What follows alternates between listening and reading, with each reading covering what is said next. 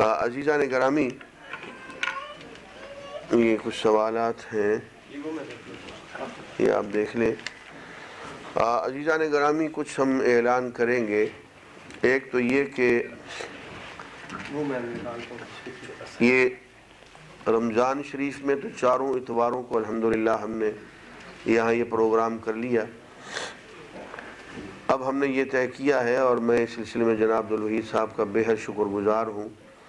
جو اس جگہ کے دیوان خاص کے مالک ہیں، کہ انہوں نے پوری محبت اور اخلاص کے ساتھ ہمیں مہینے میں ایک مرتبے یہاں اکٹھے ہونے کی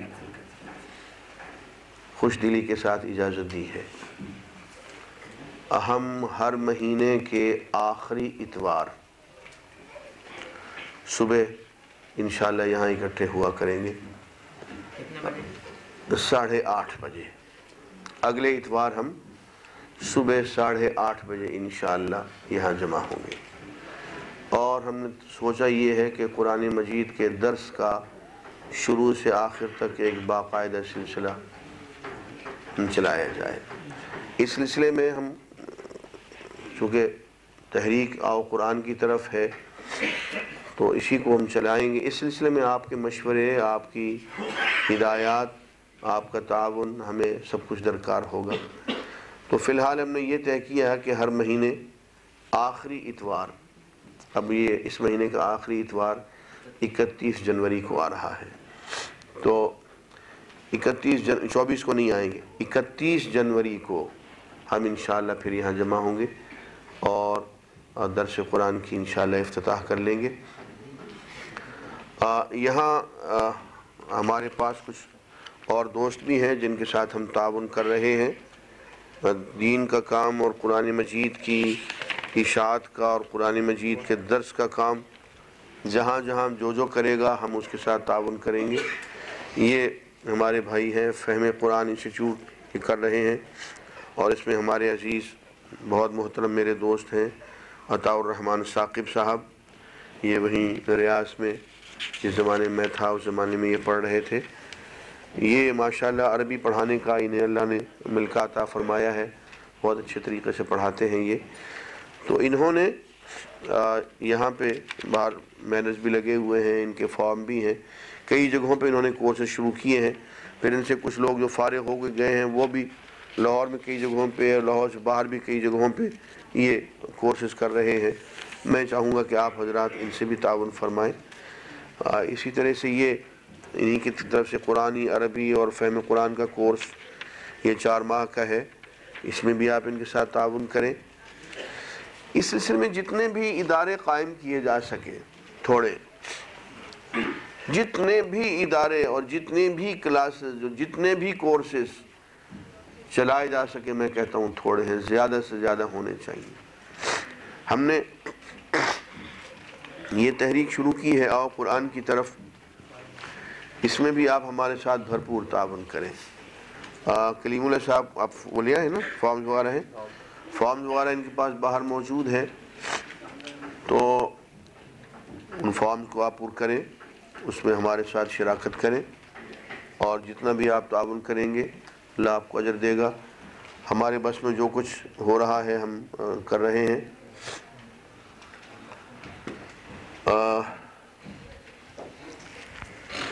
یہ ایک اور اعلان ہے، فہم قرآن انسٹیٹیوٹ کے زیر اہتمام، چوبیس جنوری بروز اتوار صبح دس بجے تا ایک بجے دوپہر قرآن مجید اور امت مسلم کی ذمہ داریوں کے موضوع پر اے جی آفس آڈیٹوریم عقب ہائی کورٹ میں ایک سیمینار منعقد ہو رہا ہے، جس میں مقررین حسب ذیل ہیں۔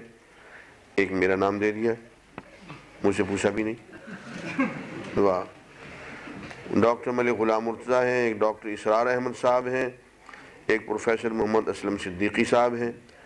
بھائی، چوبیس جنوری کو میں تو کہیں اور ٹائم دے چکا ہوں۔ اور میں کوشش کروں گا کہ ایڈجسٹ کروں، لیکن بہرحال آپ نے نام دے دیا، میں شکر گزار ہوں۔ نہیں، میرا خیال ہے کہ کچھ انہیں غلط فہمی ہو گئی۔ اور تو کوئی اعلان نہیں ہے؟ اعلان آپ پھر کر دیں مجھے مجھے بتا دیں۔ یہ پچھلے اتوار کے ہیں۔ سوالات ہیں؟ جو ہم نے پچھلی توانی میں کہا تھا کہ جو ہم بعد میں کریں گے۔ اچھا۔ چلیے۔ اعلانات آپ پہلے کر دیں پھر سوالات کی طرف آتے ہیں۔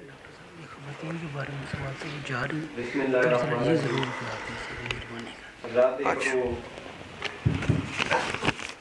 آپ سب کا ہم اپنے ادارے کی طرف سے دیش پریمی ٹرسٹ کی طرف سے شکریہ ادا کرنا چاہتے ہیں کہ آپ لوگوں نے بہت باقاعدگی کے ساتھ اس پروگرام میں شرکت کی اور امید ہے کہ آپ کو فائدہ بھی بڑا ہوگا۔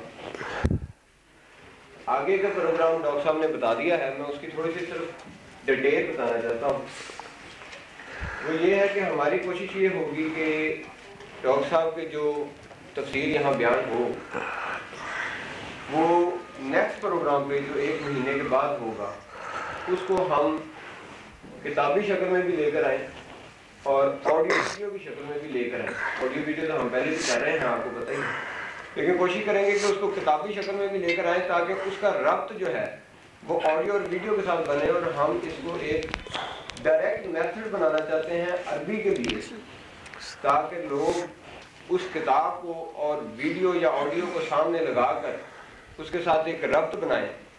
اور وہ گھر بیٹھے ہی ڈائریکٹ میتھڈ سے بغیر کسی استاد کے عربی بھی سیکھیں قرآن کو بھی سمجھیں اور اس کی تفسیر اور جو قرآن کی اصل روح ہے، اس کو بھی سمجھیں دعا کیجیے کہ ہم اس مقصد میں کامیاب ہوں اور نہ صرف ہمیں صرف دعا چاہیے، بلکہ ہمیں آپ لوگوں کا بھرپور ساتھ چاہیے۔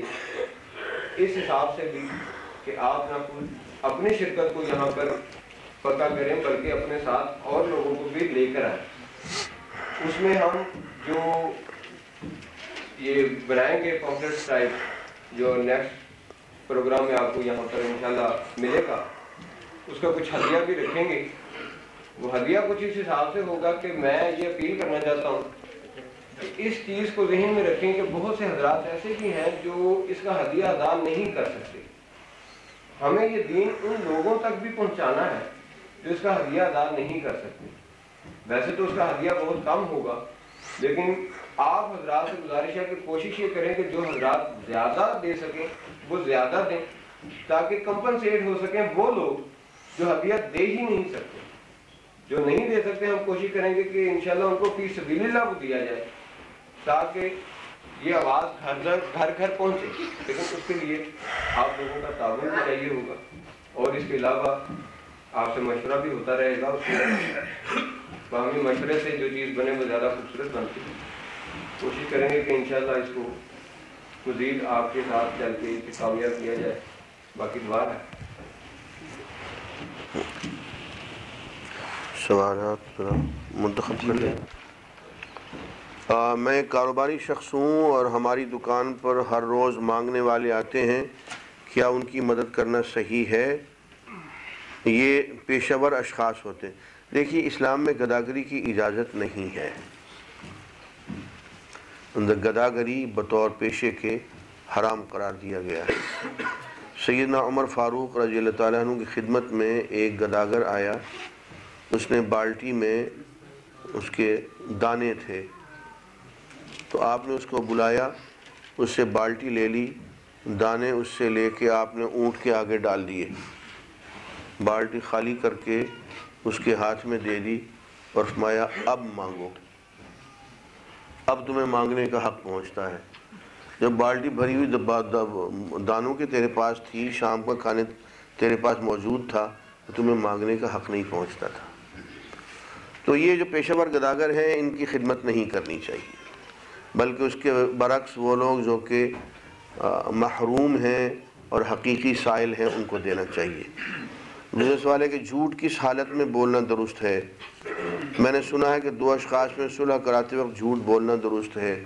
جی ہاں صلح کراتے ہوئے، خاص طور پہ میاں بیوی کے درمیان یا دو بھائیوں کے درمیان جھوٹ بولا جا سکتا ہے۔ اور کسی کی جان بچاتے ہوئے جھوٹ بولنا واجب ہے۔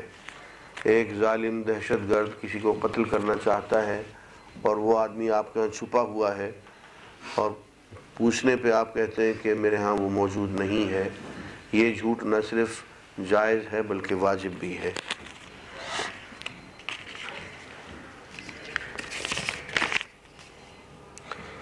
ساس اور بہو کے درمیان اخلاق کے بارے میں کچھ بتا دیں۔ ہاں۔ دیکھیے وہ بھی آنسر بات یہ ہے کہ جب دینی تربیت ہو تو یہ مسائل سامنے نہیں آتے۔ اگر دینی تربیت نہ ہو تو پھر یہی ساس جو ہے یہ خطرناک چیز ثابت ہو جاتی۔ ہے بہو بھی خطرناک ثابت ہو جاتی۔ یہ سارا مسئلہ دینی تربیت کا ہے۔ اور ان کے حقوق جو ہے وہ قرآن و سنت میں بہت وضاحت سے بیان کیے ہوئے۔ وہ آپ پڑھیں گے تو آپ کو معلوم ہو جائے گا۔ اتنا اتنا میں عرض کر دوں کہ وہ بہو جو اپنا گھر چھوڑ کے آئی ہے، اس کو اگر آپ بیٹی سمجھ لیں، سچ مچ، تو وہ بیٹی بن جاتی ہے۔ ہمارا تجربہ تو یہی ہے۔ اگر سچ مچ اس کو بیٹی سمجھ لیا جائے، تو وہ بیٹی بن جاتی ہے۔ یہ تو پھر وہی سوال آ گیا۔ جھوٹ کے بارے میں۔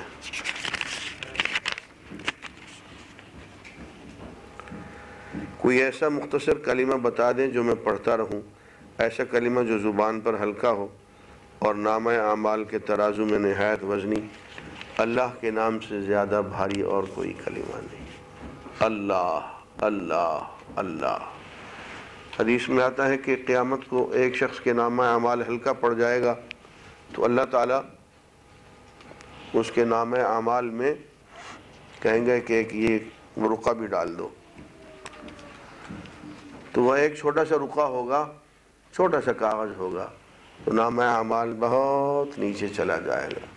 اس میں یہی اللہ کا نام لکھا ہوا ہوگا۔ لا الہ الا اللہ لکھا ہوا ہوگا۔ اللہ تعالیٰ فرمائیں کہ لا یسقلو لا یسقلو مع اسمی شیء۔ میرے نام سے زیادہ بھاری چیز کائنات میں اور کوئی نہیں ہو سکتی۔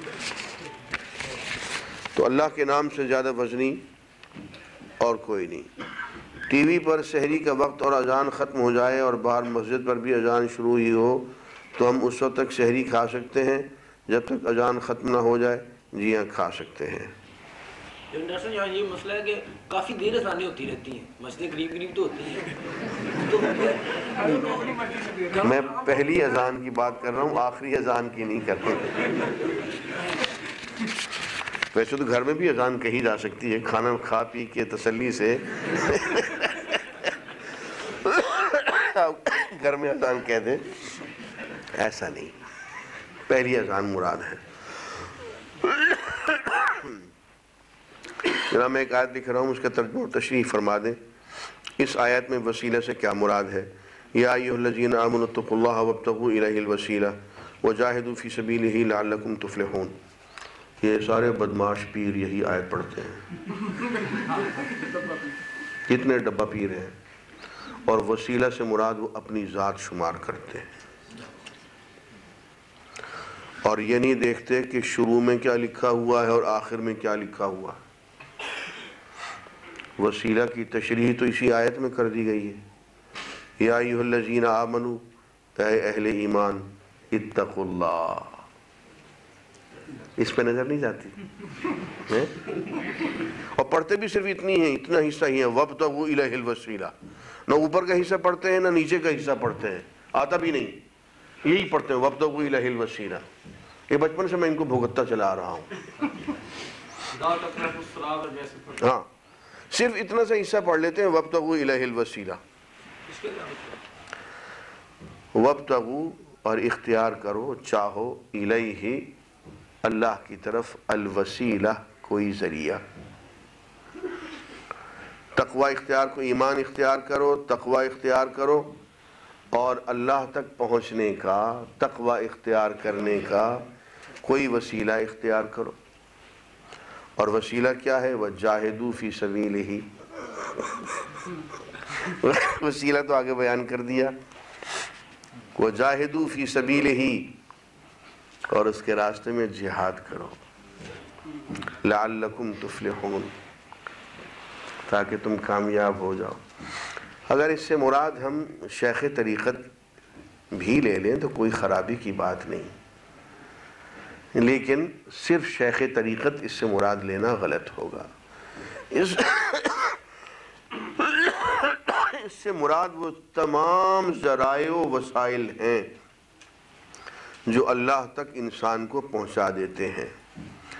اور اللہ تک پہنچانے کے ذرائع کی تشریح قرآن میں ایک جگہ اور آئی ہے۔ فرمایا والذین جاہدو فینا وہ لوگ جو کہ جہاد کرتے ہیں اور کوشش کرتے ہیں ہمارے راستے میں، ہمارے لیے۔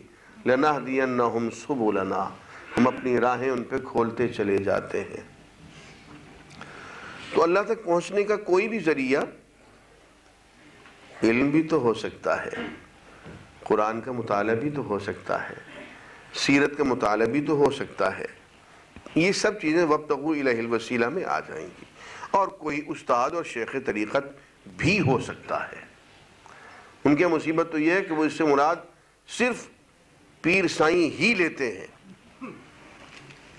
ہم پیر سائیں بھی لیتے ہیں۔ باقی اور ذرائع بھی ہیں۔ اچھا صاحب یہ تو اور ہے، میرا کارڈ جی میں دیکھ رہا ہوں ابھی۔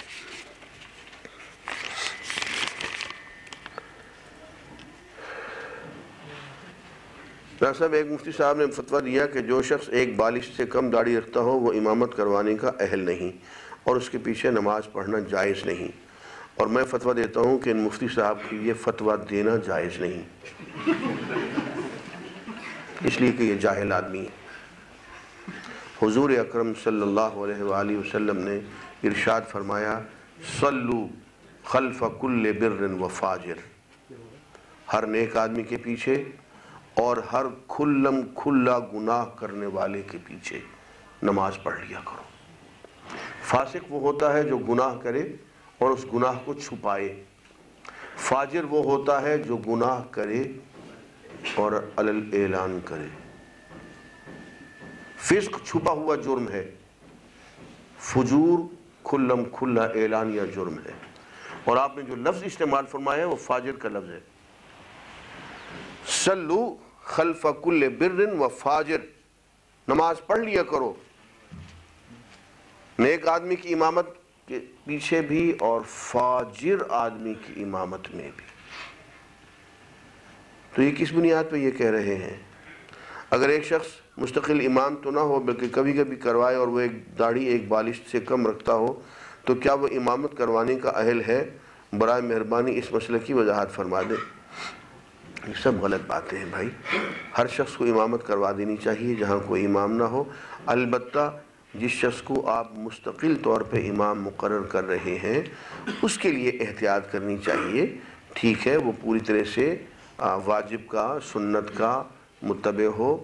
اور مفتی صاحب یہ فتویٰ نہیں دیں گے، اور نماز پڑھانے کے پیسے نہ لیتا ہو۔ یہ فتویٰ کوئی دینے کو تیار نہیں ہے۔ اس وقت مساجد فساد کا گڑھ اس لیے بنی ہوئی ہے کہ مولوی جو ہے وہ پیڈ اپ ہے۔ مولوی نے مسجد کو سٹیٹ بنایا ہوا ہے۔ اس نے اس کو اپنی ایک دکان اور ایک انڈسٹری بنایا ہوا ہے۔ اور حدیث میں بہت وضاحت سے لکھا ہوا ہے کہ اذان وہ شخص دے جو اذان کی اجرت وصول نہ کرے۔ اگر مؤذن کے لیے تنخواہ جائز نہیں ہے، تو امام صاحب کے لیے تنخواہ کہاں سے جائز ہو گئی؟ اسی لیے میں بزرگوں سے اپنے دوستوں سے کہتا ہوں کہ میاں اپنی اولاد کو امام بناؤ، خود امام بنو، آگے آگے خود نماز پڑھاؤ۔ یہ وہ علاقے غیر سے آئے ہوئے لوگ پتنی کتنے قتل کر کے آ کے یہاں بیٹھے ہوئے ہمیں نمازیں پڑھا رہے ہیں۔ خدا خوفی کرو، ان سے ہماری جان چھڑواؤ۔ وہ لوگ جو جس علاقے کے رہنے والے ہیں، جنہوں نے ہمارے سامنے بچپن گزارا، ہمارے سامنے جوانی گزاری ہے، ہم ان کے اونچ نیچ کو جانتے ہیں۔ ان کے پیچھے نماز پڑھو۔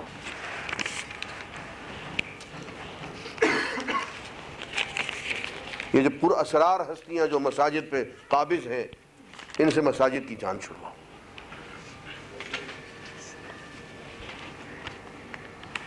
ایک بالش داڑھی تو دس دنوں میں اگ کے آ جائے گی، لیکن تقوی و طہارت کے لیے سال ہا سال چاہیے۔ علم کے لیے سال ہا سال چاہیے۔ مفتی صاحب کو صرف ایک بالش داڑھی کی ضرورت ہے، اس لیے کہ وہ ان کی ہے، ان کے بیٹوں کی بھی ہے۔ تو بھائی، علم کہاں سے لاؤ گے؟ تقوی طہارت کہاں سے لاؤ گے؟ تربیت کہاں سے لاؤ گے؟ مسجد کی خدمت کا جذبہ کہاں سے لاؤ گے؟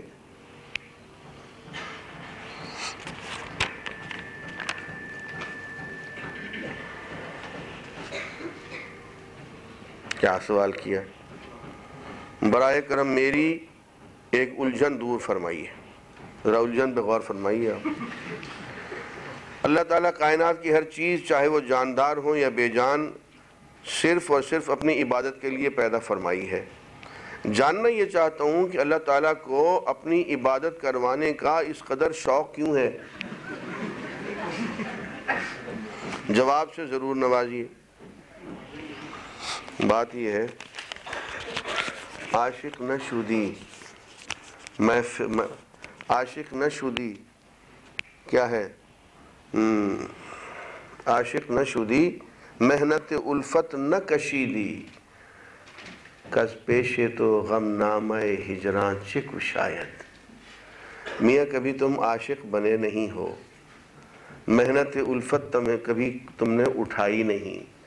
اب تم سے کوئی ہجر و یاس کی اور ہجر و فراق کی اور وصل کی حکایت بیان کرے تو کیا کرے؟ چار سو عیسائیوں کے ایک مجمع کے سامنے میں نے تقریر کی اور اسلام کو میں نے جتنی مختصر سے انداز میں اڑھائی تین گھنٹے کے ایک لیکچر میں میں نے تعارف کرایا کہ یہ اسلام ہے۔ تو اس لیکچر کے بعد ایک صاحب نے کھڑے ہو کے سوال یہ کیا کہ ڈاکٹر صاحب، اسلام ویسے تو بہت اچھا مذہب ہے۔ آپ نے جتنی باتیں کی، یہ بہت دل کو لگنے والی ہیں۔ لیکن ایک بات جو ہمیں مشکل نظر آتی ہے، وہ یہ پانچ وقت کی جو نمازیں ہیں نا، یہ نہیں، ہم تو سنڈے کے سنڈے جاتے ہیں۔ اتوار کے اتوار وہ بھی ایک گھنٹہ جا کے فارغ ہو جاتے ہیں، پھر اگلے اتوار تک ہمیں کوئی تکلیف نہیں ہوتی۔ یہ جو دن میں پانچ مرتبے اور وہ بھی نماز سے پہلے اچھی بھلی وہ وہ ایکسرسائز ہے، وہ باتھ روم میں جانا، وہ نہانا اور سردی میں وضو کرنا اور یہ وہ، یہ ذرا مشکل سا لگتا ہے۔ اس کا کوئی حل ہے؟ تو میں نے کہا، بیٹے، کبھی تم نے کسی سے پیار کیا ہے؟ کہنے لگا ہاں کیا تو ہے۔ میں نے کہا، یہ بتاؤ، جس سے تم نے پیار کر لیا ہو اگر دن میں تمہیں وہ کہے کہ مجھے پانچ مرتبے ملا ملا کرو ملو گے کہتے جی میں تو دس مرتبے ملنے کے لیے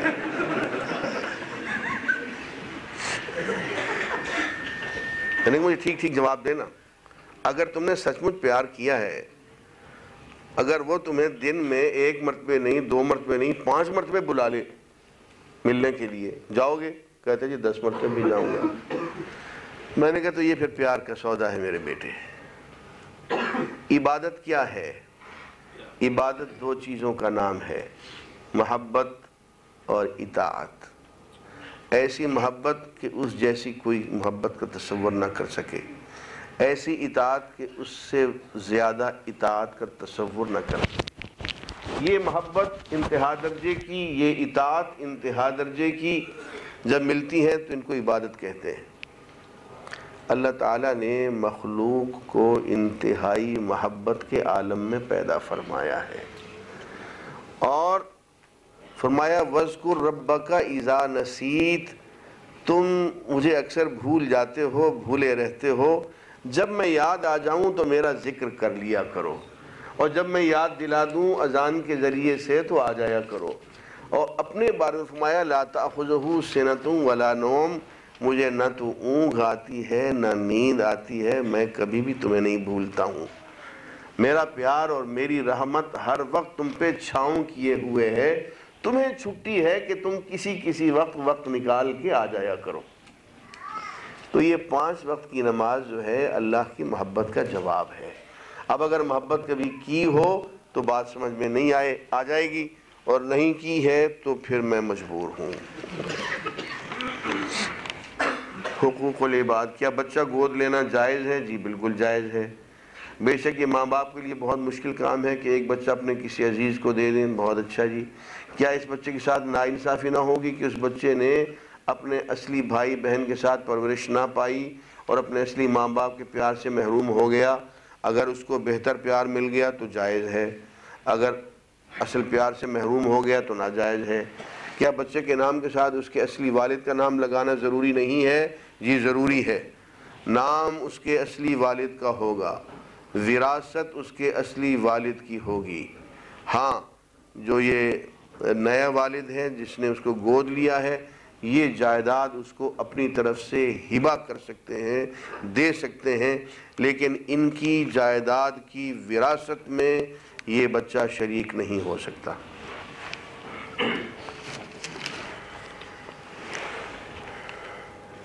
آپ نے کہا ہے کہ جو تم سے تعلق توڑے اس سے جوڑو، لیکن اگر کوئی تعلق کسی بھی صورت قائم نہ رکھنا چاہے تو پھر کیا کریں؟ جوڑنے کی کوشش کرتے رہیں، اللہ سے فریاد کرتے رہیں۔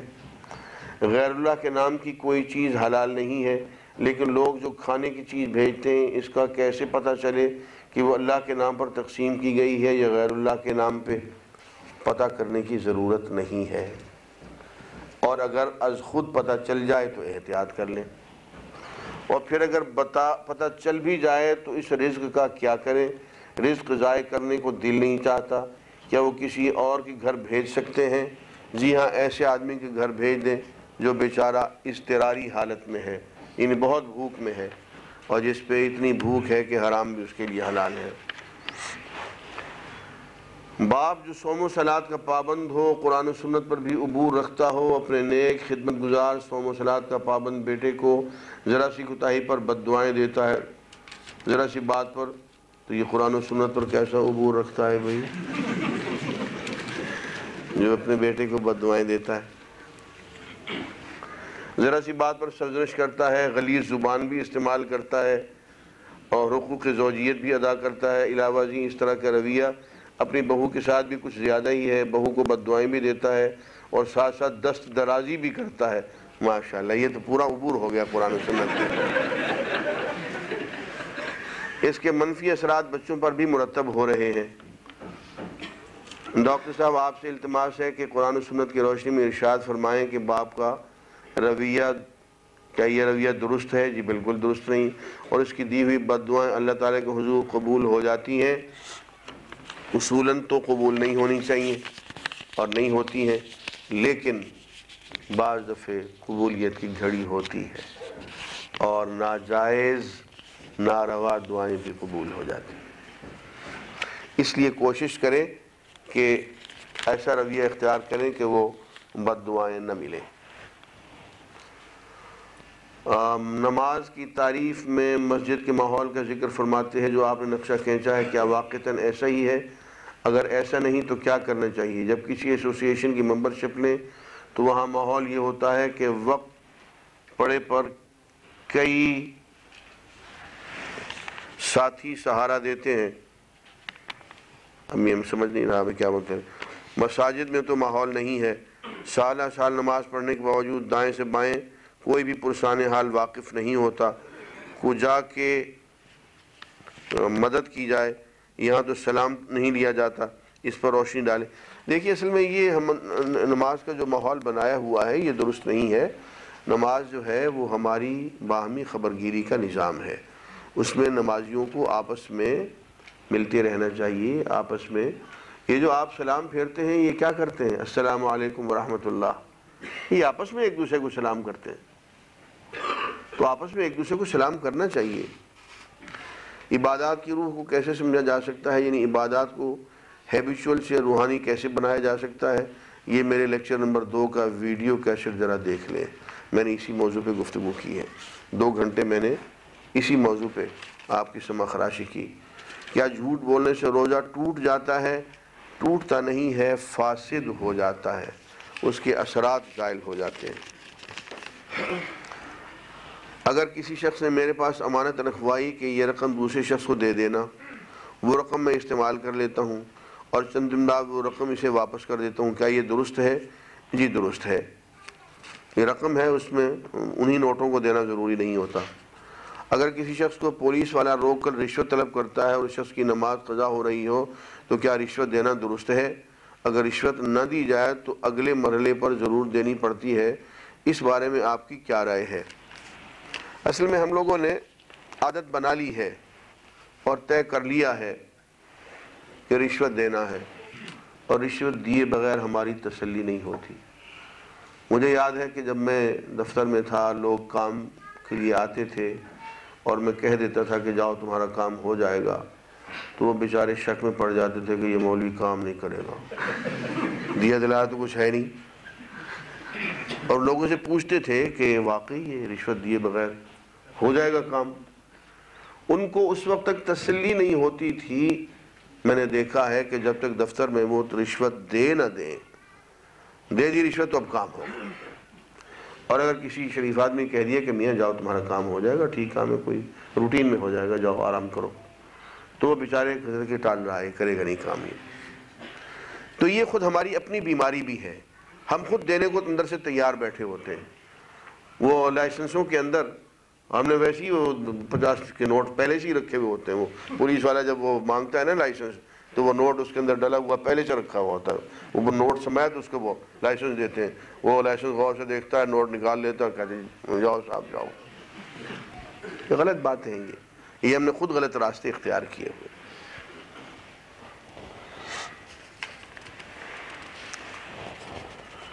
اگر ایک دو مرتبہ آپ ڈٹ جائیں نا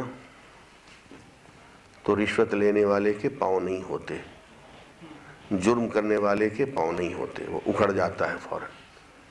کمیاں جو کرنا کر لو، نہیں دیتے ہیں تمہیں پیسے۔ کیا کریں ساس اور بہو کے درمیان اخلاق اور معاملات کے بارے میں ارشاد فرمائیں، کیونکہ گھریلو جھگڑے بہت ہوتے ہیں۔ میں کہہ چکا ہوں، کافی ہے، اتنا ہی۔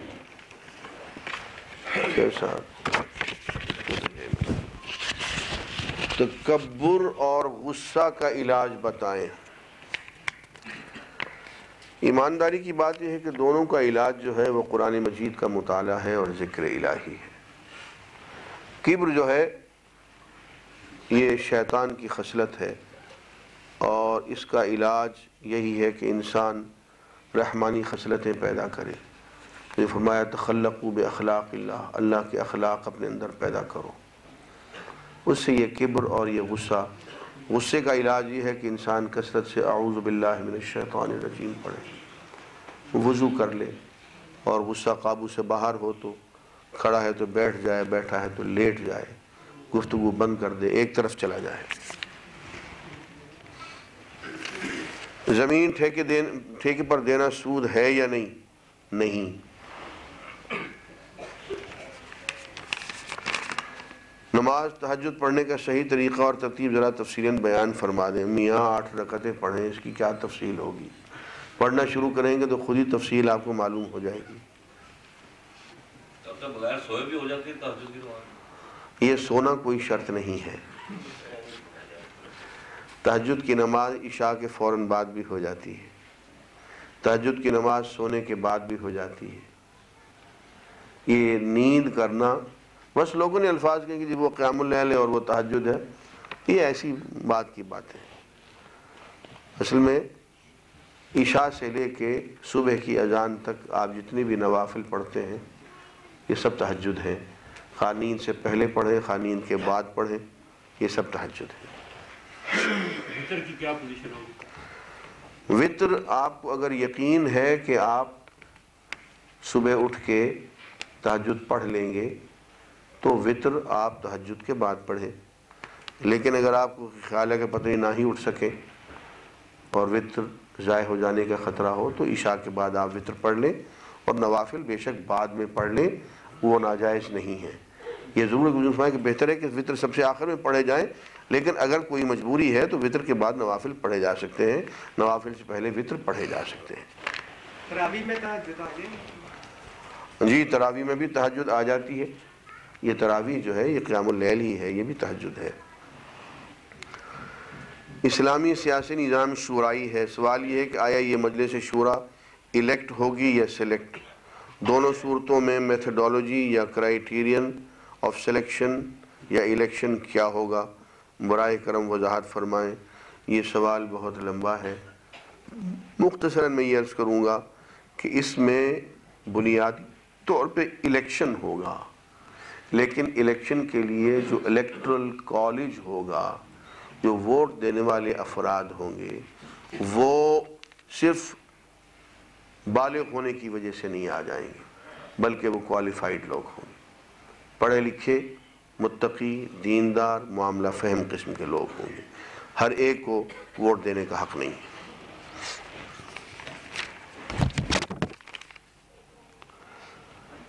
میں پانچ وقت کا نمازی ہوں، مولانا مودودی رحمۃ اللہ علیہ کی تفسیر تفہیم القرآن کا مطالعہ بھی کر چکا ہوں یعنی قرآن بھی سمجھ کر پڑھ چکا ہوں، لیکن پھر بھی میرا ایمان اتنا کمزور ہے کہ میں اکثر شک میں پڑ جاتا ہوں۔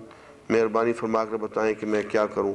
اللہ کے نام کا ورد کریں، اس سے ایمان راسخ ہو جائے۔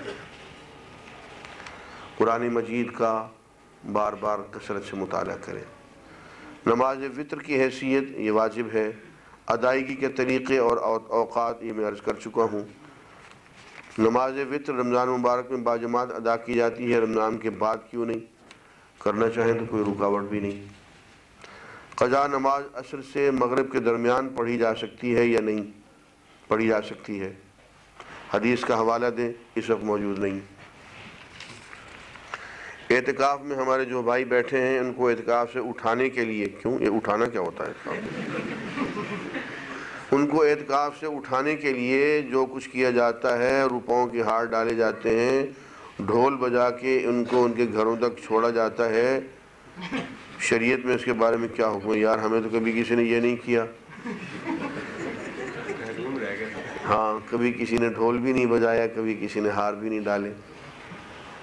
کوئی حیثیت نہیں ہے شریعت میں اس کی۔ قسطوں کا کاروبار حرام ہے یا حلال ہے؟ اس میں جو چیز ادھار پر دی جاتی ہے یا فروخت کی جاتی ہے، اس سے حاصل کردہ نفع سود ہوتا ہے یا نہیں؟ نہیں ہوتا۔ قسط پہ میں جسارت کر رہا ہوں، یہاں حضرت مولانا مودودی رحمۃ اللہ علیہ کے فتویٰ کے خلاف بولنے کی۔ مولانا کا فتویٰ یہ ہے کہ یہ سود ہے۔ لیکن اس کے برعکس ریاض میں جو علماء کی بحث ہوئی، اس میں انہوں نے یہ طے کر دیا کہ یہ سود نہیں ہے۔ اور میرا خیال یہ ہے کہ ریاض کے علماء نے جو کہا، وہ درست ہے۔ اس کی وجہ یہ ہے کہ قسطوں میں رقم اگر عام قیمت فروخت سے زیادہ دی جائے، تو وہ اس چیز کا کرایہ بن جاتا ہے۔ چونکہ جنس درمیان میں آ گئی نا آپ نے ایک کار خرید لی۔ اب وہ نقدی تو نہیں ہے نا جو آپ نے لی ہے۔ آپ نے تو کار لے لی۔ اور کار کی آپ قیمت دے رہے ہیں قسطوں میں۔ تین سال کے بعد آپ قیمت اتار رہے ہیں۔ اور آپ اس کی قیمت فرض کیجیے دس ہزار روپے پندرہ بیس ہزار روپے آپ زیادہ دیتے ہیں۔ تو چونکہ وہ کار ایک جنس آپ کے پاس ہے، نقدی آپ کے پاس نہیں ہے، آپ اس جنس کا کرایہ دے رہے ہیں۔ اس میں کوئی خرابی کی بات نہیں۔ ہے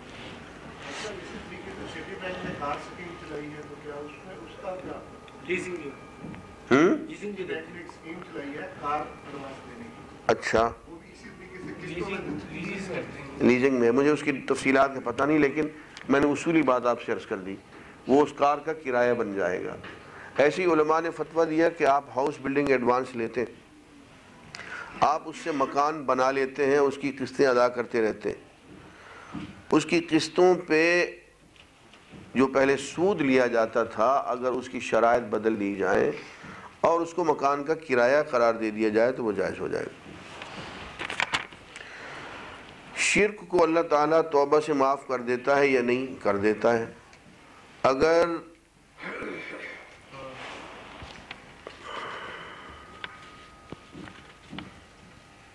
اگر ہاں تو اس آیت کی کیا تفسیر ہے کہ اللہ سب کچھ معاف کر دے گا سوائے شرک کے؟ ہاں لیکن توبہ سے تو فرمایا معاف کر دیں گے، شرک سے بھی تو توبہ کی اجازت ہے۔ آپ شرک سے توبہ کا دروازہ تو بند نہ کریں۔ آج آپ کہتے ہیں کہ شرک سے توبہ نہیں ہے تو کوئی شرک سے توبہ کرے گا بھی نہیں۔ شرک اور کفر سے توبہ ہے۔ یہ مشرقین مکہ نے کس چیز سے توبہ کی تھی؟ شرک سے ہی تو توبہ کی تھی۔ اگر کوئی رشتہ دار اعلانیہ گناہ کرے تو اس کے ساتھ صلہ رحمی کی کیا صورت ہے؟ وَنَخْلَعُ وَنَتْرُكُ مَنْ يَفْجُرُ۔ اے اللہ جو کھلم کھلا گناہ کرتا ہے ہم اس سے علیحدہ ہو جاتے ہیں ہم اس کو چھوڑ دیتے ہیں۔ یہ لمبا سوال ہے بھائی۔ اب اس کا کیا کیا جائے؟ ذرا زبانی بتائیں۔ پڑھنے میں دور دیر لگے گی۔ آپ پڑھ لیں ذرا۔ جی میں نے پڑھ لیا یہ ایک صاحب نے اپنا اسکوٹر ٹھیک کروایا اس پہ چار ہزار روپے زیادہ خرچہ ہو گیا تھا۔ وہ انہوں نے کسی پٹھان سے ادھار لیا مطلب قرض لیا۔ اس نے اس پہ پانچ سو روپیہ سود بھی ڈال دی سے پہلے ڈال لیا۔ ہاں ہاں۔ بتا کہتے ہیں کہ جی مجھے بتائیں کہ میں اس میں میری کیا پوزیشن ہوگی اس کے سود کہ اس لین دین میں میری کیا پوزیشن ہوگی؟ مطلب ان کی پوزیشن سود دینے والے کی ہوگی۔ بس اب یہ ہے کہ مجبوری کتنی ہے، اضطرار کتنا ہے، یہ اللہ تعالیٰ جانے اور آپ جانے۔ لیکن وہ سود ہی ہوگا۔ ایک ماں نے اپنی بیٹی کے پاس کچھ اشیاء امانت کے طور رکھوائیں اور تاکید کی کہ کسی سے اس کا ذکر نہیں کرنا۔ اور کچھ عرصے کے بعد ماں کا انتقال ہو گیا۔ اب ان چیزوں کا کیا کیا جائے؟ اب ان چیزوں کو ظاہر کر دیا جائے۔ اب ذکر کر دیا جائے۔ اور اس کو وراثت کے قانون کے تحت تقسیم کر دیا جائے۔ میں بی اے کی طالبہ طالبہ ہوں اور انگلش کی وجہ سے پریشان ہوں۔ آپ نے پہلے درس میں بتایا تھا کہ آپ نے اپنے بیٹے کو دو سو دو سو پچاس لفظوں میں انگلش لکھا سکھا دی۔ کیا ایسا ہو سکتا ہے کہ آپ وہ طریقہ مجھے بھی بتا دیں؟ اس سے صرف میں ہی نہیں بل بہت سی اور طالبات کا مسئلہ بھی حل ہو سکتا ہے۔ جی ہاں بہت آسان مسئلہ ہے۔ دنیا کی کسی زبان کو آپ سیکھنا چاہیں، اس زبان کے دو اڑھائی سو ایسے جملے یاد کر لیں۔ جو سب سے زیادہ استعمال ہونے والے۔ یہ زبان آپ کی ہو جائے گی دو تین دن کے اندر اندر۔ آپ اپنی ٹیکسٹ بکس کو دھیان سے پڑھیں اور اپنی ٹیکسٹ بکس میں سے ہی آپ کو دو سو اڑھائی سو جملے ایسے مل جائیں گے جو روزمرہ کی زندگی میں، گھر میں، دفتر میں اسکول میں سب سے زیادہ بولے جاتے ہیں۔ ان جملوں کو علیحدہ کر لیں، ان کو یاد کر لیں، ان کو ٹیپ کر لیں، وہ ٹیپ بار بار سنتی رہیں۔ آپ کو انگریزی زبان آ جائے گی۔ عربی کا بھی قاعدہ ہے، ہر زبان کا یہی قاعدہ ہے۔ ہمارے محلے کی مسجد میں خواتین اجتماعی صلاح و تسبیح ہر جمعہ پڑھتی ہیں، یہ صحیح ہے یا غلط؟ صحیح ہے۔ کیا بیٹی صدقہ جاریہ نہیں بن سکتی؟ کیوں نہیں بن سکتی؟ بالکل۔ جہاں بیٹے کا ذکر کیا جاتا ہے، وہاں بیٹی کا از خود اس میں شامل ہوتی ہے، وہ اولاد میں آ جاتی ہے۔ والدین کے حقوق کیا عورت پر بھی اسی طرح لاگو ہوں گے جیسے مردوں پر۔ جی بالکل۔ اور عورت کی کمائی پر کس کے حقوق بنتے ہیں سب سے زیادہ کس کا حق ہے؟ عورت کی کمائی پہ سب سے زیادہ حق عورت کا ہے۔ کسی اور کا نہیں۔ اور خامن کا تو بالکل نہیں۔ خامن کا تو بالکل ہی نہیں۔ مجھے میری آنکھوں میں آنسو آ گئے۔ ایک فل پروفیسر، میڈیکل ڈاکٹر نے ایک بھرے مجمع میں جو خواتین کا مجمع تھا، مجھ سے یہ سوال کیا کہ میرے والد کو ٹی بی ہے، کیا میں اپنی کمائی میں سے، اپنی تنخواہ میں سے اپنے والد پہ خرچ کر سکتی ہوں؟ ایک ڈاکٹر، لیڈی ڈاکٹر جو فل پروفیسر ہے اور وہ پیسے کما رہی ہے اور اتنی تعلیم یافتہ ہے وہ اپنے والد کی خدمت اور اس کے علاج کے لیے پوچھ رہی ہے کہ کیا میں اس کے علاج پہ خرچ کر سکتی ہوں؟ میں نے کہا تو تم سارا پیسہ کس کو دیتی ہو؟ میں نے خامن کو دے دیتی ہوں۔ دے کیا دیتی ہوں لے لیتا ہے بیچارہ، وہ تو وہ تو اپنا حق سمجھ کے لے لیتے ہیں۔ عزیزان گرامی، یہ ظلم ہے۔ جس طرح سے والدین کی خدمت بیٹے کا فرض ہے، اسی طرح سے والدین کی خدمت بیٹی کا بھی فرض ہے۔ شادی کر دینے کا مطلب یہ نہیں ہوتا ہے کہ اس سے تعلق ٹوٹ گیا۔ ہرگز نہیں۔ والدین اگر بیمار ہیں، اگر انہیں ضرورت ہے، تو بیٹی کا فرض بنتا ہے کہ ان کی خدمت کرے اور صرف بیٹی کا ہی نہیں، اگر اللہ نے کچھ شرم و حیا اور غیرت داماد پہ دے رکھی ہے، تو یہ اس کے فرائض میں سے بھی ہے۔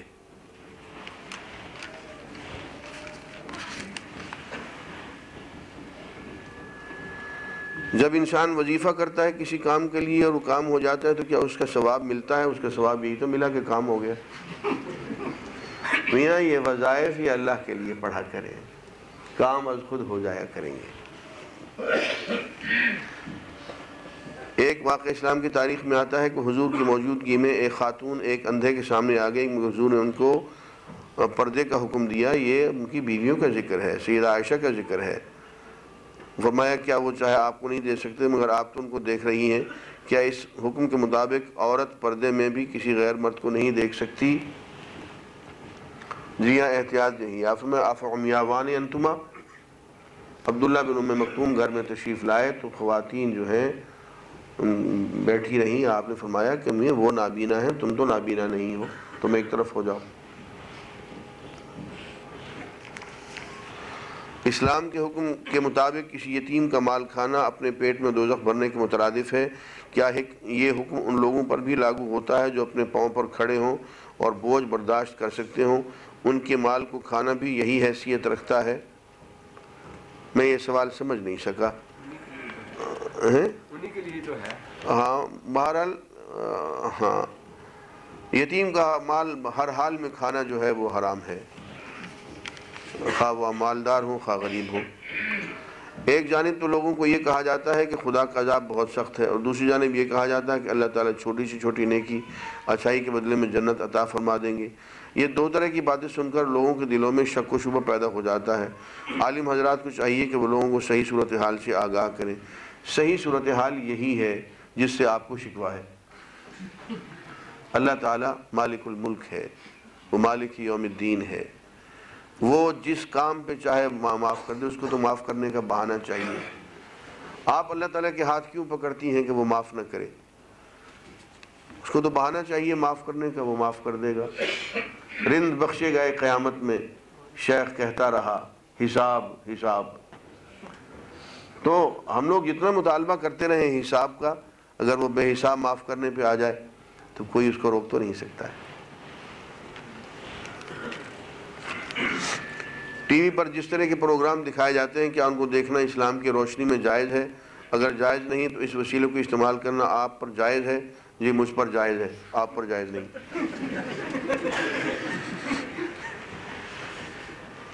ایک ذریعہ ہے دین کو پھیلانے کا۔ یہ ہم سارے کے سارا کفار کے حوالے کر دیں؟ کیوں؟ دوسری اتوار آپ نے بیان کیا تھا کہ پہلے حکم ہوا کہ جب شراب پیے ہو تو نماز تم نہ پڑھو۔ یہ بتا دیں کہ یہ آیت ہے یا حدیث؟ بھائی یہ آیت ہے۔ لا تقریب الصلاۃ وانتم سکارا حتی تعلموا ما تقولون۔ کہ نماز کے قریب نہ جاؤ جب تم نشے کے عالم میں ہو۔ تمہیں پتہ تو چلے کہ تم کہہ کیا رہے ہو۔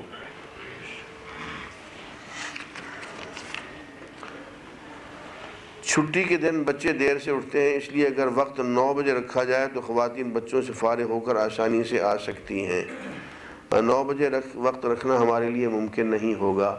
اس لیے کہ گیارہ بجے، بلکہ پونے گیارہ بجے یہ ہال ہمیں فارغ کرنا ہوگا۔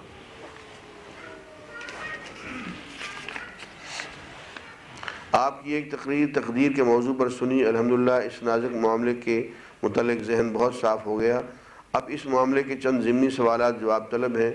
برائے مہربانی ان کے جوابات عنایت فرمائے، ان کو سابقہ وضاحت سے منسلک فرما دیں اللہ تعالیٰ آپ کو جزائے خیر دے۔ انسان اپنے اعمال میں کس حد تک اختیاری ہے اور کس حد تک مجبور؟ جی، یہ سوال حضرت علی سے پوچھا گیا۔ آپ نے فرمایا، ایک پاؤں اٹھاؤ۔ اسے ایک پاؤں اٹھایا۔ اب نے دوسرا اٹھاؤ۔ نے کہا، یہ تو نہیں اٹھتا۔ آپ نے کہا، اتنا اختیار ہے اور اتنا مجبور۔ یہ بات کہ اللہ تعالیٰ ہر چیز پر قادر ہے، اس کے حکم کے بغیر پتہ بھی نہیں ہل سکتا، اس کو تقدیر کی وجاہت کے ساتھ کس لیے ملایا جائے؟ بھائی ہم پتے نہیں ہیں، ہم صاحب ارادہ انسان ہیں۔ قرآن حکیم کی آیت مات شاہون اللہ شاء اللہ کی کیا امپلیکیشنز ہیں؟ اس آیت مبارکہ کی روشنی میں انسان کس حد تک مجبور ہے؟ کسی حد تک مجبور ہے اور کسی حد تک ارادہ اللہ نے ضرور دیا ہوا ہے۔ جس حد تک ارادہ ہے، اس حد تک وہ ذمہ دار ہے۔ اس کو اجر ملے گا، ثواب، اجر نیکی کا بھی، برائی کا بھی۔ عید کا فطرانہ کتنا ہے؟ بیس پچیس روپے ہے میرا خیال ہے۔ بیس روپے پہ۔ مولوی صاحبان راضی ہو گئے؟ وضو کرنے کے بعد وضو اور مسجد کے نفل دو رکعت میں اکٹھے پڑھ سکتے ہیں۔ جی ایک تو وضو کے نوافل ہیں، دو، ایک مسجد کے نوافل ہیں۔ یہ دونوں اکٹھے ہو جائیں گے۔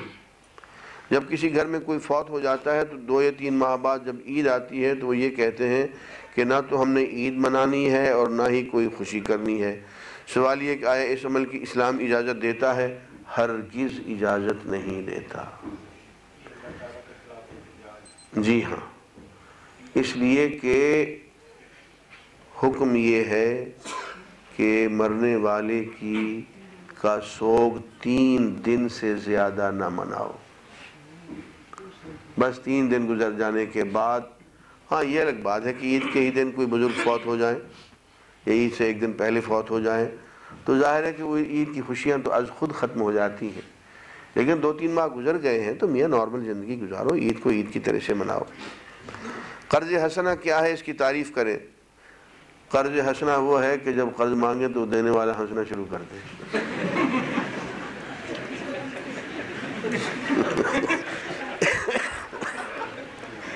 دینے کی بجائے ہنس کے ٹال دے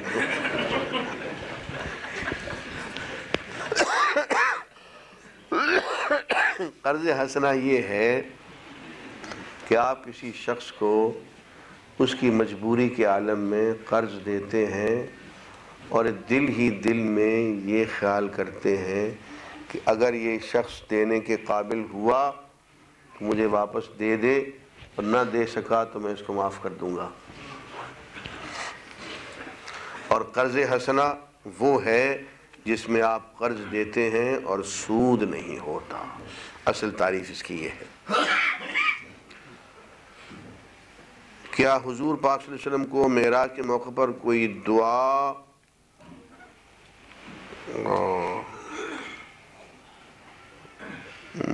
قدح معظم کے نام سے عطا ہوئی ہے۔ اسی طرح دعائے نور، دعائے گنج درود تنجینا، درود لکھی، درود اکبر کے بارے میں بھی بتائیں۔ یہ کتابیں بیچنے کے ذریعے ہیں اور کچھ بھی نہیں۔ جو دعائیں حضور کی سنت میں، سیرت طیبہ میں، احادیث میں آئی ہیں، وہ ہمیں کافی ہے اور ان میں سب کچھ آ گیا ہے۔ یہ بات کی جو دعائیں ایجاد ہوئی ہیں، ان کی ان دعاؤں کے مقابلے میں جو حضور نے صحابہ کو سکھائیں کوئی حیثیت نہیں۔ نماز عشاء کا وقت کب تک ہوتا ہے؟ نصف رات تک۔ اور نصف رات سے لے کے صبح کی اذان تک ادا ہو سکتی ہے، مگر مکروح اللہ کی رضا سے کیا مراد ہے؟ اللہ کی خاطر کوئی کام کرنے سے کیا مراد ہے؟ اللہ کو مقصود بنانے سے کیا مراد ہے؟ واہ بھائی واہ۔ ساری رات سنایا قصہ یوسف کا اور صبح پوچھا، یہ ذل خان کون تھا؟ ذل خان، یہ کس قبیلے کا مرد تھا؟ زلیخا مرد تھی یا عورت تھی؟ یہ چار ہفتے ہم نے اسی بات پہ تو گزار دیے۔ کہ اللہ کی رضا کیا ہے، اللہ کو کیسے مقصود ٹھہرانا ہے۔ اور اب پتہ چلا کہ یہی سوال بند کیا گیا۔ یہ جناب پھر اگلے ہفتے سے شروع کریں گے، پھر سے انشاءاللہ۔ علم حاصل کرو، چاہے تمہیں چین جانا پڑے۔ کیا یہ حدیث ہے؟ جی یہ حدیث نہیں ہے۔ یہ کسی کا قول ہے۔ کیا کسی کو اسلام میں زبردستی داخل کرنے کی کیا سزا ہے؟ یہ اس طرح سے کہ اس نے اسلام میں داخل کرنے کے لیے کیسی اور کس طرح کی زبردستی کی، موقع بہ موقع سزا دی جائے گی۔ اعتکاف میں بیٹھا ہوا شخص اپنے محلے کے کسی شخص کے جنازے میں شریک ہو سکتا ہے یا میت کا منہ دیکھ سکتا ہے۔ جی ہاں اگر اعتکاف میں بیٹھنے سے پہلے اس نے اللہ تعالیٰ سے یہ طے کر لیا ہو کہ میں اعتکاف کے دوران کسی جنازے میں بھی جانا چاہوں تو جا سکوں گا۔ پچھلے ہفتے آپ نے کہا کہ شریعت و طریقت لازم و ملزوم ہے اور یہ کہ علامہ اقبال نے قرآن کو بہت سمجھا ہے۔ کیا ہم علامہ اقبال کو باشریت کہہ سکتے ہیں؟ تو کیا آپ کو ہم باشریت کہیں؟ علامہ اقبال باشریت نہیں ہے تو پھر اور کون ہے؟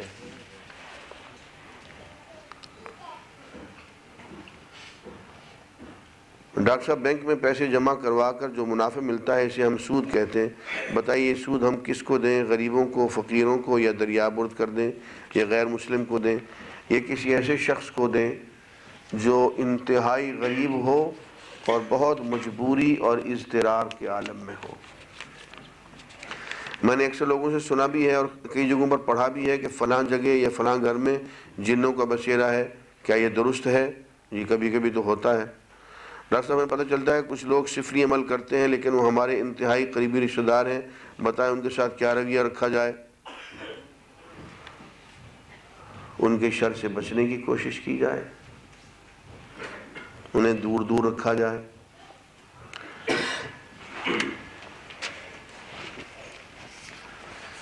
شرک کی جو وجوہات آپ نے بتائی تھیں، اگر اس طرح کی شرک بزرگ کرتے رہے ہوں تو ان کے لیے مغفرت کی دعا کرنی چاہیے یا نہیں؟ جی ہاں کر لینی چاہیے۔ کراچی کے شمس الدین آجمی صاحب کے مراقبے حال سنٹر بنے ہوئے ہیں، جہاں عورتوں کو مراقبہ کی تعلیم دی جاتی ہے اور جس کے بعد اللہ کا نور، رسول اللہ کی زیارت ہوتی ہے۔ اس کے بارے میں تفصیلاً بتائیے۔ دیکھیے، ان صاحب نے ایک حرکت تو یہ کی ہے کہ اپنے رسالوں میں میری کتابوں سے مضامین لے لے کے بار بار شائع کیے ہیں۔ اور اس سے لوگوں کو یہ غلط فہمی ہو گئی ہے کہ میں ان کی تائید کرتا ہوں۔ حالانکہ یہ بدتی آدمی ہے، گمراہ ہے۔ میں ان سے برات کا اظہار کراچی میں بھی کر چکا ہوں، یہاں بھی کرتا ہوں۔ یہ گمراہ انسان ہے اور اس سے زیادہ گمراہ وہ وہ کیا نام ہے اس کا وہ؟ وہ گوبر شاہی۔ وہ اللہ اس کو ہدایت دے۔ اس نے تو حد ہی کر دی ہے۔ یعنی وہ تو حضور اکرم صلی اللہ علیہ وسلم پہ ایمان لانے کی بھی ضرورت محسوس نہیں کرتا ہے۔ اور جگہ جگہ اس نے یہ اشتہارات دے دیے ہیں کہ کسی بھی مذہب سے تمہارا تعلق ہو، میرے پاس آ جاؤ، تمہیں روحانیت عطا کر دوں گا۔ یعنی حضور صلی اللہ علیہ وسلم کی تشریف آوری سے زیادہ ضرورت اس کی تشریف آوری کی تھی۔ عورتوں کے لیے پردے میں چہرہ داخل ہے یا نہیں جی داخل ہے۔ اور اکثر کا جواب یہ ہے کہ چونکہ حج کے موقع پر چہرہ کھلا رہتا ہے، تو چہرے کا پردہ ضروری نہیں، اس لیے کہ ہر وقت حج کے عالم میں ہوتی ہیں، تو ضروری نہیں ہوگا۔ بہرحال اس مسئلے پہ ذرا سا اختلاف ہے۔ فقہا نے تھوڑی سی گنجائش رکھی ہے چہرے کو کھلا رکھنے کی۔ لیکن اس میں جو کتاب سب سے اچھی آئی ہے، وہ مودودی صاحب کی کتاب پردہ ہے۔ مولانا متشدد آدمی تھے، سخت مزاج آدمی تھے۔ انہوں نے چہرے کے پردے کو بھی واجب قرار دیا ہے اور اس کے لیے بہت زوردار دلائل دیے ہیں۔ بہرحال ان کے دلائل اپنی جگہ پہ اور بعض فقہ نے جو گنجائش نکالی ہے وہ اپنی جگہ پہ۔ احتیاط یہی ہے کہ چہرے کا پردہ کیا جائے۔ کتنے ہیں جی؟ کیا نماز کے سامنے سے گزرنا گناہ ہے؟ اگر ہے تو کس حد تک؟ امام شافی امام حنیفہ کی روح سے بیان کریں۔ اب یہ تو میرا امتحان نہ لے کہ امام شافی کیا کہتے ہیں؟ مجھے اس وقت کیا معلوم بھائی؟ ویسے تو یہاں کے اکثر لوگوں کو اس بارے میں پتہ نہیں، یا ناظرین کو بتائیں کہ اس بارے میں۔ بات یہ ہے کہ اتنے فاصلے سے نمازی کو کھڑے ہوتے ہوئے قیام کے عالم میں اپنی نگاہ سجدے کی جگہ پہ گاڑے رکھنا چاہیے۔ تو اس کی نظر کا ایک دائرہ بنتا ہے۔ یعنی سجدے سے یوں سمجھ لیجیے دو تین فٹ اور آگے تک۔ اچھا۔ تو ایک صف، زیادہ سے زیادہ دو صفوں کا فاصلہ اگر چھوڑ کے آگے سے گزرے تو جائز ہوگا۔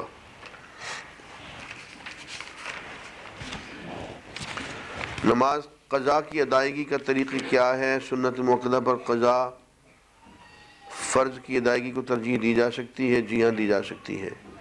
نماز کی ادائیگی کی نیت سنت کے مطابق کن الفاظ سے کرنی چاہیے۔ نماز کی نیت الفاظ سے نہیں ہوتی ہے، دل سے ہوتی ہے۔ اگر بیوی خامن کا جائز حکم نہ مانے اور بار بار سمجھانے کے باوجود بھی نہ مانے، تو کیا کرنا چاہیے؟ پکڑ کے زور سے مارنا چاہیے۔ ہڈیاں توڑ دینی چاہیے۔ عزیزان گرامی، بعض دفعے غلط فہمی بھی ہو جاتی۔ آپ ایک جائز حکم دیتے ہیں لیکن وہ بے موقع ہوتا ہے۔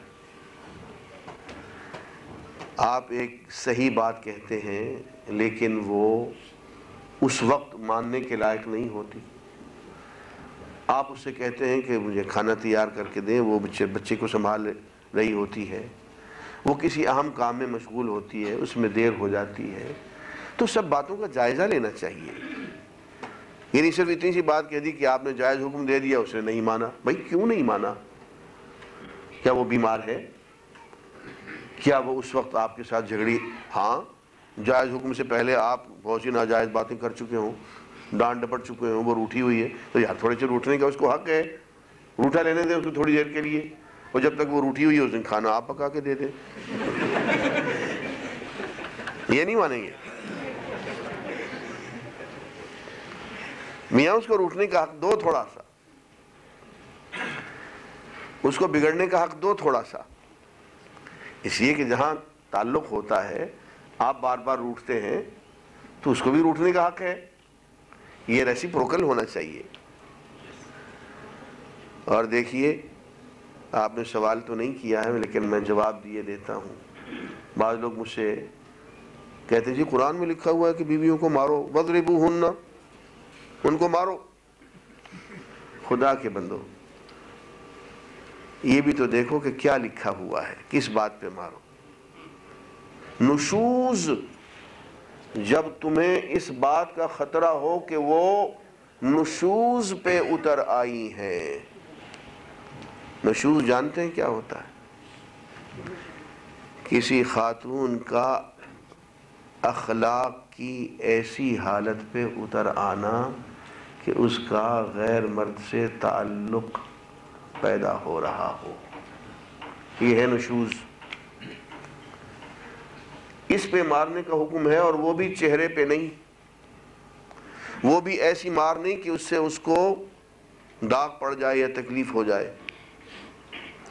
پہلے فرمائے وحجرو ہننا ان سے علیحدگی اختیار کرو، بستر علیحدہ کر لو، ان کو سمجھانے کی کوشش کرو۔ اور پھر بھی وہ باز نہیں آتی ہیں اور اخلاق کی اس حالت پہ اتر آئیں تو پھر ان کو ہلکی سی مار مارو۔ اب یہ تو سارا جو میں نے بتایا ہے، یہ تو بتاتے نہیں ہیں۔ وزرب ہننا یاد ہے۔ اب وہ کھانے میں نمک کم پڑ گیا تو وزرب ہننا ہو رہا ہے۔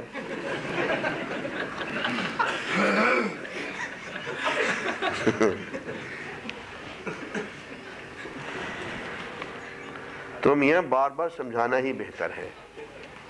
یہ بار بار سمجھانے کے باوجود آپ جو کرنا چاہتے ہیں وہ نہ کریں۔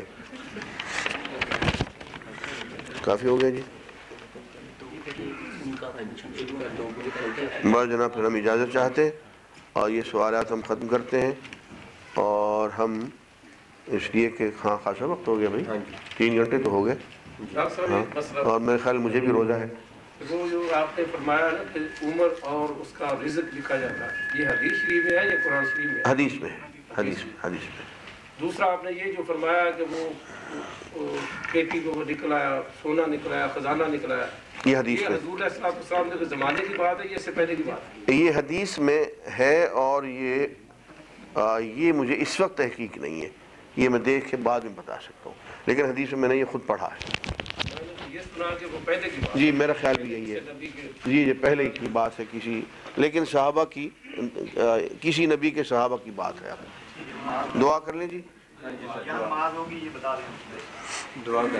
دعا کر لیتے ہیں۔ جی اللہم صلی علی سیدنا محمد وعلا آل سیدنا محمد وبارک وسلم ربنا آتنا فی الدنیا حسنة وفی الآخرة حسنة وقنا عذاب النار۔ اے اللہ ہماری اس ہلکی سی حقیر سی کوشش کو قبول فرما۔ اور اس کام کو اپنے راہ میں مقبولیت عام نصیب فرما۔ اور اے اللہ، لوگوں کو دلوں کو قرآن کی طرف پھیر دے۔ اے اللہ، ہم سب کے دلوں کو اپنے حبیب صلی اللہ علیہ وسلم کی سیرت طیبہ کی طرف پھیر دے۔ اے اللہ، ہمیں دین کی بصیرت، دین کی محبت اور دین کی غیرت نصیب فرما۔ اے اللہ اے اللہ، تو ہماری زندگی بھر کے گناہوں کو معاف فرما دے۔ کبیرہ، صغیرہ، جان کے کیے ہوئے، انجانے میں کیے ہوئے، سب گناہوں کو معاف فرما دے۔ اپنی راہ میں جینا اور اپنی راہ میں مرنا نصیب فرما دے۔ اے اللہ، تو عفو و کرم کا سراپا ہے۔ تو معاف کرنے کے عمل کو پسند کرتا ہے۔ تو معاف کرنے کا حکم دیتا ہے۔ اے اللہ، تو ہمیں معاف فرما دے۔ پوری امت مسلمہ کو معاف فرما دے۔ اے اللہ، پورے عالم اسلام کو معاف فرما دے۔ اور یہ عذاب کی کیفیت جو امت مسلمہ پہ ہے، اے اللہ اس کو دور فرما دے۔ اے اللہ اے اللہ، ہم سے وہ معاملہ فرما جو تیری شان کے لائق ہے۔ ہم سے وہ معاملہ نہ فرما جس کے ہم مستحق ہو گئے ہیں۔ اے اللہ، تو فرماتا ہے، یا عبادی الذین اسرفوا علی انفسهم لا تقنطوا من رحمت اللہ، ان اللہ یغفر الذنوب جميعا کہ اے میرے وہ بندو جنہوں نے اپنی جانوں پہ ظلم کر رکھا ہے، میری رحمت سے کبھی مایوس نہ ہونا۔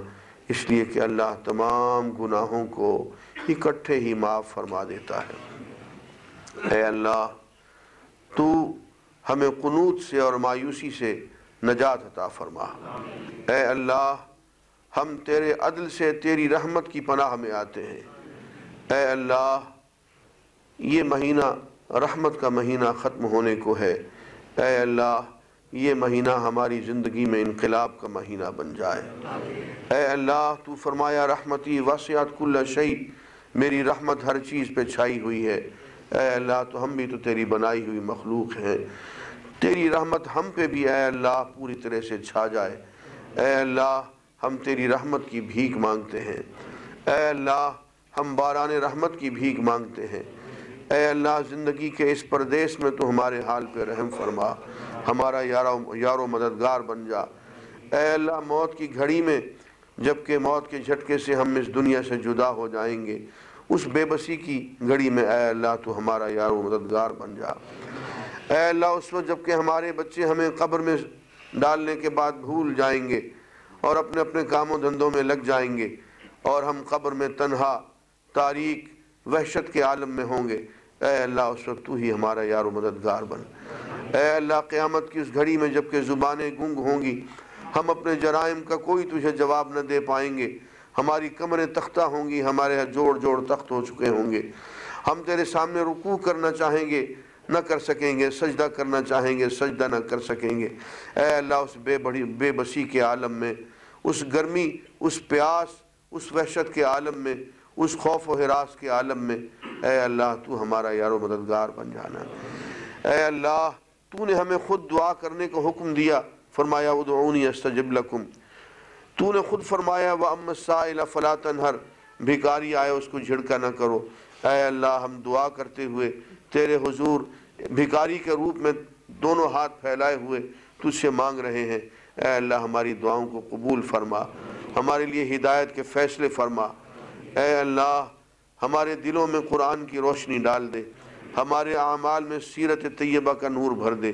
ربنا تقبل منا انك انت السميع العليم وتب علينا انك انت التواب الرحيم وصلى الله على حبيبه محمد وعلى آله واصحابه اجمعين آمین۔ برحمتك یا ارحم الراحمین۔ ہاں نماز آج ہم یہاں نہیں پڑھ سکیں گے، اس لیے یہاں فنکشن ہوگا۔